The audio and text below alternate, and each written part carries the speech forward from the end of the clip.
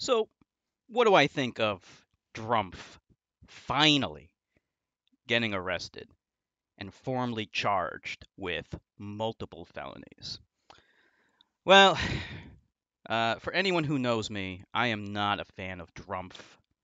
I hate this racist scumbag piece of shit. Uh, I hate him because he's a racist, because he's a homophobe, because he's a transphobe, because he's a Islamophobe, because he's uh, he hates everyone except himself. Okay? Like eh, the reasons why to hate Drumpf are too many to count. So let's just get right into the meat here, okay? Drumpf finally finally has been indicted. Now, my first reaction is finally. Sounding a little redundant there, but it has to be said that for a lot of us, we've been waiting so long for this to happen. And it just was never happening. You know, they were like, uh, look at the Justice Department, Merrick Garland. He's still sitting on his fucking hands. And why is that? It's because of uh, cowardice and also a lot of corruption. But we have a great DA in New York City who finally had the courage to stand up to this piece of shit. And it took a black man to do it.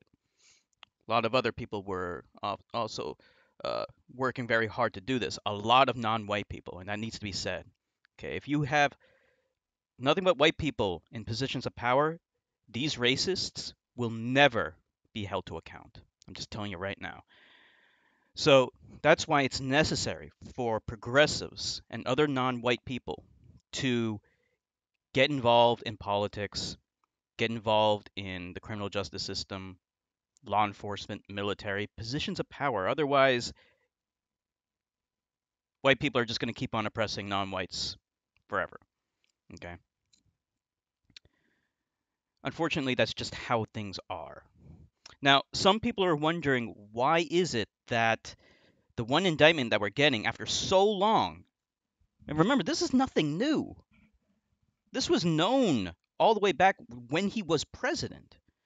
It's 2023 now.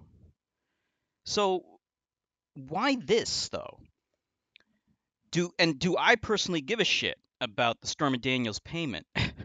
First of all, Stormy Daniels, and uh, I wish I had some photos of her that I could show off because she's a lot nicer to look at than Trump. But we'll just bear with this uh, retarded-looking photo of Trump where he's trying to imitate a retard but looking like one himself because he is one. Um, now, do I give a shit about him paying hush money to Stormy Daniels? First of all, holy shit, he must be kicking himself in the ass for that because it was utterly inconsequential. First of all, it didn't even work. Everyone knows that he cheated on his wife with a porn star. So that that hush money didn't even fucking work. And second of all, even if everyone knows, which everyone eventually did, it, it, his, his MAGA MAGA cult didn't give a fuck. You know, it's unbelievable. Like he must be thinking to himself, how did I fuck myself so badly with this stupid with this one stupid decision? And it's hilarious that it was just one dumb idea of his to pay hush money. And by the way, this is the the ones that we, this is the one that we know about. We don't know about the ones that we don't know about. Okay, I'm I'm sure he paid hush money to plenty of other women that he was cheating with, but unlike Stormy Daniels, they kept quiet. Okay. Um, we do know about Karen McDougal. I don't know if he paid hush money to her. I don't care the point is is that is you know the uh, about the campaign finance stuff this goes into you know the broader topic of getting money out of politics and stuff like that. In that sense you know Trump isn't anything particularly unique. He just didn't follow the rules. You know like we often say like all politicians are like crooks okay? Because they are okay and this is this is worth an, uh, its own video but basically there's so much corruption and bribery in politics okay? There's a system of legalized bribes i'm just telling you right now and trump really isn't any different than any other politician i'm just being honest with you okay? The only difference is that he didn't follow the rules of political crooks that's it.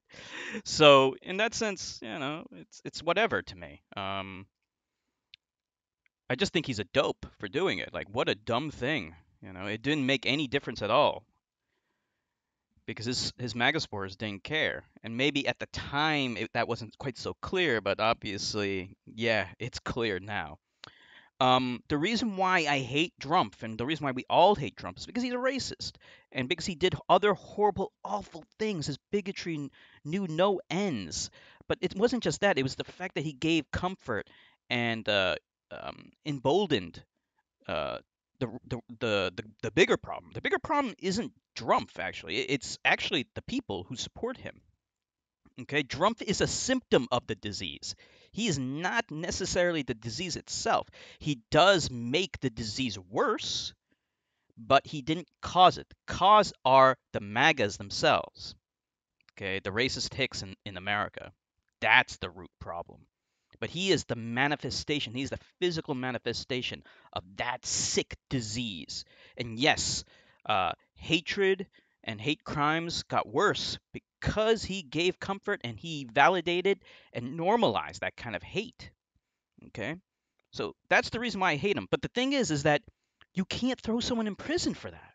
You can't throw someone in prison in America for being a racist or for all the other hateful things that he he said and did. Sort of. I mean, you could technically impeach him for any reason, but then you would need a Congress that's not also racist. And we don't have that. Fucking, of course not.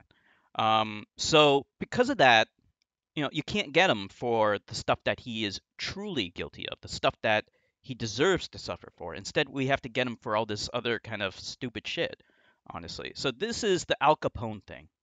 Okay. This is the well, we can't get Al Capone for murder, so you get him for tax evasion.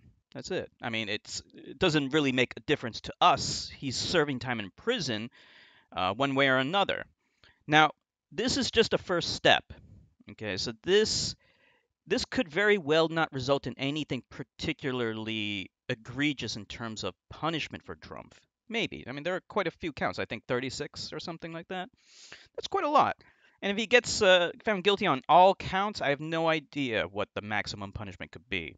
And there could be some even more stupid shit like serving uh, serving time concurrently, which I hope is not the case. But even if it's not a very heavy sentence, um, what it could lead to is a snowball effect, like a domino effect, rather, where you push the first domino and then leads to other dominoes falling. Because, like I said before, Merrick Garland's a fucking feckless coward. Okay, that's the reason why he doesn't want to make the first move because he's chicken. He's a chicken shit. And they are who are they afraid of? They're afraid of the MAGAs. They're afraid of the MAGAs. They're afraid of what they might do. And he's also afraid for his own personal safety because guess what? Guess what? Guess who is in law enforcement? Guess who is in charge of protecting these people? These people's lives are always in danger because people don't like them right? Because they, they have to prosecute people, blah, blah, blah. People don't like politicians for the same reason. Why are they always pro cop? Because they have to be. Because if they aren't, then those guys aren't going to protect them. But quite a few cops are MAGAs. So that's the reason why, you know, people like Merrick Garland and other people who are in charge of, you know, filing charges are so reluctant, cowardly to do it because they they feared that hey, you know, all these cops who are protecting me right now, maybe they w- won't want to protect me if I try to indict their Lord and Savior, Dr- Drumpfy Boy. Okay, that's what's really going on. Um, but here's the thing, though. After the after this indictment, they're gonna take a wait and see approach. They're gonna they're gonna look at and they're gonna be like, what's going on here? How, how's what what direction's the wind blowing in? Is he gonna get the nomination? Is he losing popularity? Or are the MAGAs suddenly starting to realize, you know what, it's not worth actually, you know, giving my life for this this this this maggot, this thug, this thug in a three-piece suit? Okay, because remember what happened. He he posted on his shitty ass social media account, Truth Social. He said, "Get ready to protest. I'm get, I'm getting arrested." Get ready to protest. I'm gonna get arrested, guys. Come on, help me. Help me. I'm gonna die. Help me, please. What was he really saying, though? He was saying, guys, you gotta go. You gotta go riot. You gotta go out like what I accused the BLM of. You know, you gotta go and destroy everything and kill people. You gotta do all that. That's what he was really saying. He was trying to incite violence. Okay? Drumpfy boy. Um, but what ended up really happening? Nothing. no one showed up. No one did anything. Okay? Total non turnout. Now, why is that? Maybe it's because they saw how he fucked people over during the January 6th coup attempt. Okay? Remember what happened with that? Now, we all know what happened with that, but what happened after that? He threw them all under the bus. They were all expecting pardons, presidential pardons. He didn't pardon any of them, which was the right move to do, and thankfully he didn't do that. But the reason the reason why he didn't do that is because he was trying to cover his own ass. Because he knew that if he gave pardons to these uh, terrorists, um, that would uh, only strengthen arguments to get him indicted on uh, inciting violence. So that's the reason why he didn't do that. He only gives favors to more powerful people. But the MAGAs, as dumb as they are, some of them at least, saw that. And they were like, you know what? Fool me once, shame on you. Fool me twice, shame on me. at least some of them. So that's what I believe. I think that they saw what Drumpfy Boy did during January 6th, or rather afterwards, and how he wasn't there for them. He threw them all under the bus, as they deserve. And now they're they're like, you know what? Maybe it's not worth giving my life for you after all. Because some of them actually were crazy enough to do that. Because these people are mentally ill.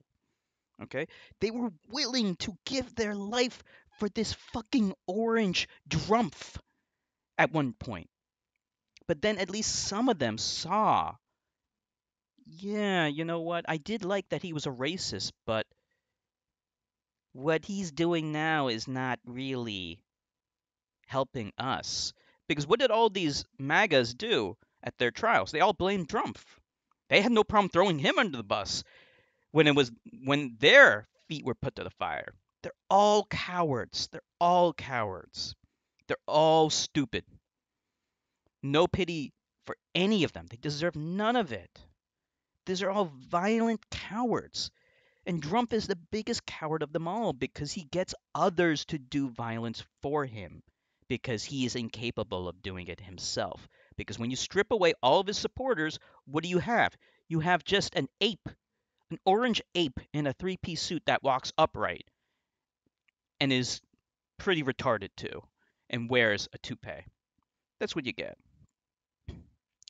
So we'll see how things go. Um, it is a historic event to have Trump being indicted, a former president of the United States. And look, this also needs to be said too. This is unprecedented because Trump is not the only criminal president. I got news for you. Okay, there's so like pretty much all of them are. like, you know, George W. Bush, Dick Cheney, these motherfuckers absolutely are criminals. Okay? But what did Obama do after Bush left office and then Obama became president? He said, We're going to look forward and we're not going to look behind. What? Wait a minute. You're a Democrat. I thought you were on our side. No, no. Obama's on their side. But it's like I said before they have rules. They have rules that you have to obey. They will go to bat for you, they will protect your ass as long as you follow the rules. And the problem with Trump is that he didn't follow the rules for rulers. And that is why the establishment, the business as usual, politicians on both sides gave him the cold shoulder. You know, even the Democrats, okay? I got news for you. Nancy Pelosi knew about the torture programs under Bush. Bush was torturing people and Nancy Pelosi knew about it, and she ref- she she was okay with it. She liked that. She didn't tell her supporters that, of course, but she personally supported that, and she protected Bush. That's what happened, and she refused to take measures to impeach him, even though he absolutely should have. Okay, but what happened this time? She took measures to impeach Trump twice. Why? Because Trump didn't follow the rules. Okay, there are certain lines that you can't cross. There are certain things that you can't do. And one of the things that they hold sanctimonious is the transition of power, whether it's between Democrats and Republicans, even though they aren't they aren't buddy buddy, they still are buddy buddy. And there are certain rules to that, and you never violate those rules, right? So people are trying to look at Lynn Cheney, Liz Cheney, wherever the fuck her name is. I hate her. She's a racist. She's a loser. Okay? She supported all of Trump's political positions. She supported all of his initiatives. Every single political agenda Trump had, she supported. But when Trump refused to acquiesce and peacefully transition and shift the power over to the Democrats, he refused to do that. And it's not that Lynn Cheney is a um, like is it believes in rule of law or anything like that. None of them do. All they believe in is the rules for rulers. And that is the one line that Trump crossed that was uncrossable for a lot of these motherfuckers. All right, so that's all I got to say. We will see how things pan out going forward. See you guys later.